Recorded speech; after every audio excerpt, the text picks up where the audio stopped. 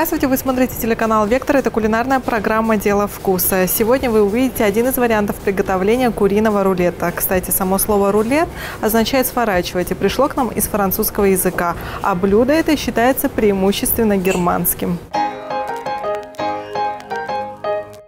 Сегодня повар кафе «Цезарь» Александр Рябов приготовит запеченный куриный рулет с беконом и овощами в сливочно-грибном соусе. Полезные свойства и калорийность блюда прокомментирует врач-диетолог Елена Петрова. Дегустируем, говорим о вкусах и предпочтениях с заместителем главы администрации Губкинского по экономике Натальей Красной. Александр, добрый день. А, блюдо сегодняшнего выпуска – куриный рулет. Расскажите, как его приготовить и что будет в качестве начинки. Добрый день. Э, для куриного рулета нам понадобится, соответственно, сама курица, болгарский перец, спаржа, незаменимые приправы соль, перец, бекон и сыр. Из каких этапов будет состоять приготовление? Я думаю, в три этапа мы справимся. Это, соответственно, формировка самого рулета, сматывание его, запекание. А здесь у вас еще грибы. А для чего грибы? Это будет тоже начинка? Грибы мы используем в качестве сливочного соуса для нашего рулета. Это блюдо а, подойдет в качестве второго или в качестве закуски? Это практически универсальное блюдо. Э, в качестве второго очень хорошо подходит. Даже когда он остынет, уже получается его можно использовать как в качестве закуски. Судя по ингредиентам, я думаю, блюдо достаточно питательное. О полезных свойствах и калорийности его нам расскажет врач-диетолог. Основа данного блюда является куриное филе. То немножко пару слов скажем о нем. Куриное филе, калорийность, если брать в сыром виде, порядка 110 калорий, в отварном виде 170 калорий и в жареном уже 210 калорий.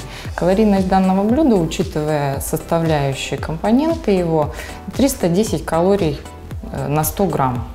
Белое э, куриное филе или белое мясо может составлять основу рациона любого человека, учитывая низкую калорийность э, в сравнении с альтернативными видами мяса и птицы, достаточно низкая. Поэтому может составлять также основу диетического питания. Также э, данный вид мяса очень питательный за счет большого количества белка и низкого содержания жира, практически не содержит углеводов. Э, использовать для приготовления лучше всего охлажденные виды мяса. Запекание также подойдет для диетического питания, а калорийность запеченного блюда, запеченного филе будет э, зависеть так же, как и нашего блюда, от используемых э, ингредиентов, которые используются в процессе приготовления. То есть в нашем блюде составляющая рулета бекон, спаржа и перец.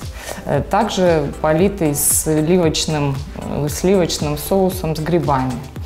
Вот, э, да, можно его видоизменить, то есть не использовать для людей, которые имеют избыточную массу тела, не использовать бекон, использовать вместо, допустим, сливок, сливочного масла, использовать сметану, либо обезжиренный йогурт натуральный с низким содержанием жира. Можно использовать также, ну, здесь используются овощи. Я думаю, что ну, наиболее оптимальный состав, который имеет низкую калорийность, богат микроэлементами и хорошо в усвоении.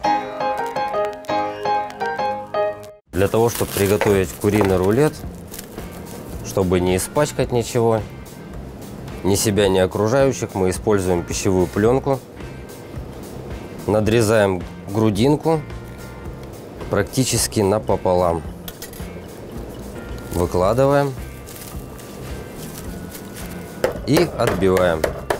Желательно не рвать ее, иначе у нас будет не очень красивый рулет. Сейчас перевернем и повторяем процедуру.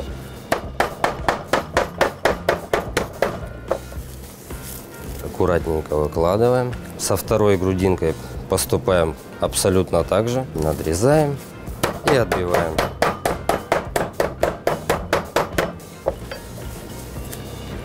Затем мы посыпаем специями, соль, перец.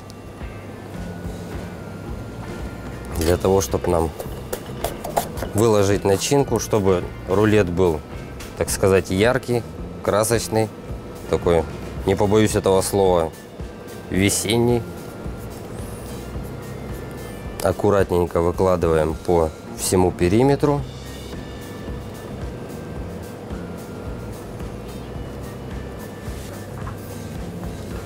Немного сыра.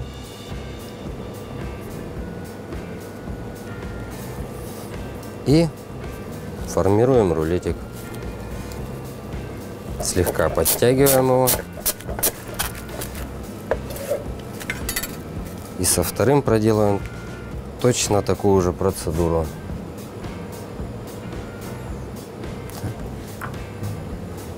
Посыпаем сыром. В домашних условиях можно использовать для начинки абсолютно все, на что способна ваша фантазия. Желательно, чтобы он был такой потуже, чтобы в дальнейшем, когда мы будем его нарезать, он не смог развалиться. Берем фольгу. Для того, чтобы наш рулет не прилип, мы смажем малую область, где он будет прилегать к фольге, смажем сливочным маслом. Затем берем наш рулет и вынимаем его из пищевой пленки на фольгу. Таким же образом сворачиваем. Получаем такую вот замечательную в виде конфеты заготовку на наш рулет. Теперь мы отправляем наши рулеты в духовку на 15 минут 200 градусов. Мясные рулеты широко распространены в Швейцарии, Чехии и Польше. Истинно европейское блюдо сначала обжаривали, а затем тушили в бульоне или пряном мясном соусе. В чешской кухне, например, в рулете должно быть несколько видов мяса. Чем больше, тем лучше. Вообще в разных странах мира существуют свои варианты рулетов. Например, азиатские роллы – блюдо из риса с начинкой, свернутая в трубочку – те же самые рулеты. Мясные рулеты можно закреплять зубочистками, шпажками или перетягивать нитками. В них заворачивают самую разную начинку – грибы, сыр, яйца, овощи, морепродукты. Особую популярность получили куриные рулетики с сыром за их нежный пикантный вкус. В Российскую империю, как и все европейское, это блюдо попало во времена правления Петра I. Поданная с различными винами, эта закуска стала излюбленной среди светских особ. Стоит сказать, что первые блюда, похожие на рулеты, были исключительно мясными. Их готовили еще в Древней Индии, Египте и Междуречье. А вот сладкие бисквитные рулеты впервые появились в конце 19 века во Франции. Столь любимый нами рулет с маком считается изобретением украинской кухни. Сегодня для рулетов, которые подают на десерт в виде начинки, также используют сладкие крема, варенье, орехи. Пока готовится наш рулет, мы отправимся на кухню и приготовим соус к нашему замечательному рулету. Для того, чтобы приготовить соус для наших рулетов, мы нарезаем шампиньоны.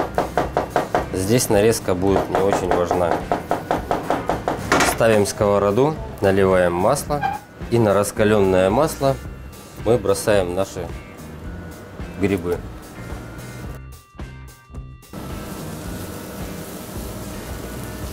Обжариваем наши шампиньончики. Затем мы добавим немножко сливок, соль, перец по вкусу.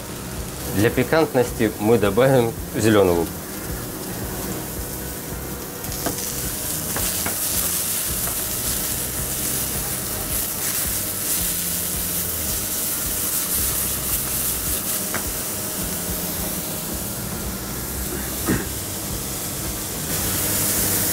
Вводим сливки.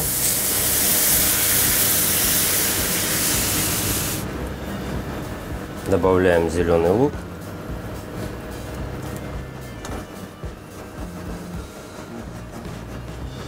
Слегка подсаливаем. И все, ждем, когда сливки загустеют.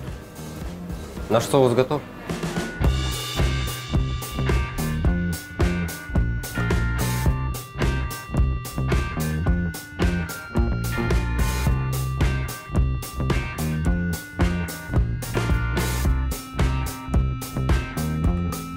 Прошло 15 минут.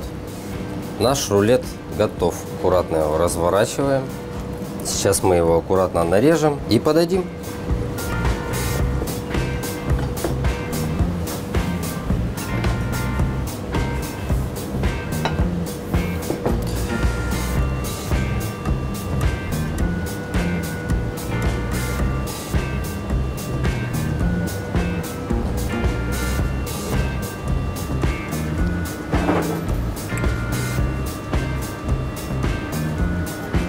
На украшение у нас пойдет перо зеленого лук.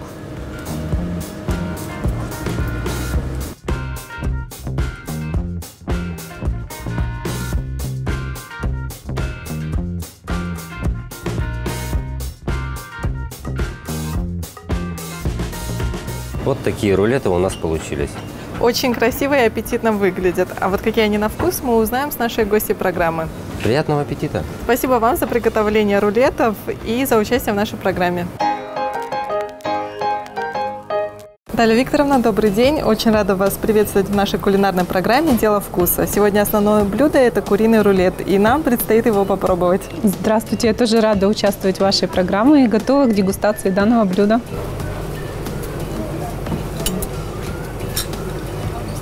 Приятного аппетита. Спасибо. Какое интересное оформление.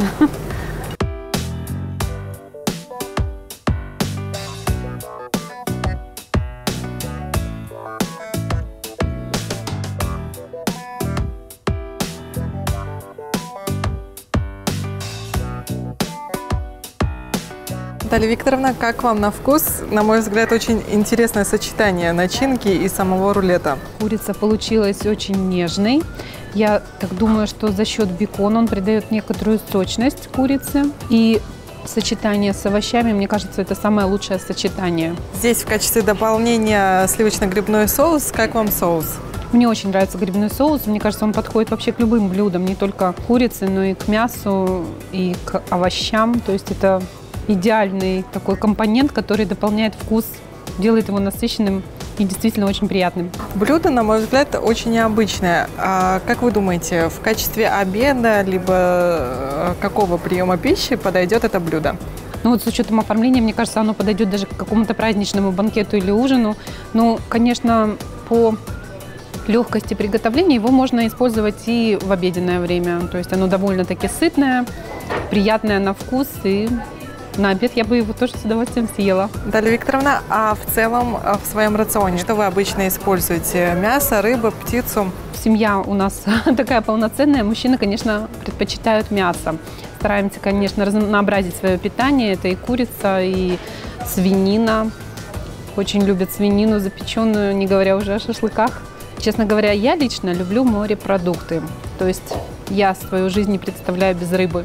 Также, я не знаю, креветки, мидии, все вот эти сочетания морепродуктов я очень люблю и обожаю. Готова, мне кажется, есть непрерывно. При современном темпе жизни и нагрузке в работе удается ли самой готовить? Да, я готовлю сама, готовлю и завтраки, обеды и ужины. Тут никуда не уйти от роли жены и мамы и хозяйки в доме. А любимое блюдо у вас есть э, собственного приготовления? И очень нравятся блины, либо какие-то запеченные пироги торты. Сегодня очень многие уделяют внимание здоровому образу жизни, в том числе и питанию. Как вы думаете, в чем заключается правильное питание? Я считаю, это действительно правильное сочетание продуктов. То есть вот мясо с овощами, если это макароны, то, наверное, с сыром, вот в этом и заключается правильное питание. Ну а самое главное – тратить нашу энергию и заниматься все-таки физическими нагрузками, тогда любое питание пойдет в пользу. А вы насколько придерживаетесь здорового образа жизни? Я стараюсь, но на самом деле ритм жизни не всегда позволяет. И мне кажется, нашему городу очень повезло, что у нас очень мало фастфудов, и наши дети, и мы вот на бегу не балуемся этой вредной пищей, а все-таки мы бежим домой, едим горячие обеды, то есть это помогает. А зачастую вредную еду любят подростки. А вот своим детям вы прививаете правила здорового питания? Ну, вы знаете, все равно от нее никуда не уйти. Выезжая в отпуск в большие города, мы, конечно, посещаем э, эти кафе нездорового питания. И стараюсь, конечно, объяснять, что это вредно. То есть дети с детства должны привыкать к здоровому образу жизни и понимать, что вредно, а что полезно. А внимание спорту уделяют?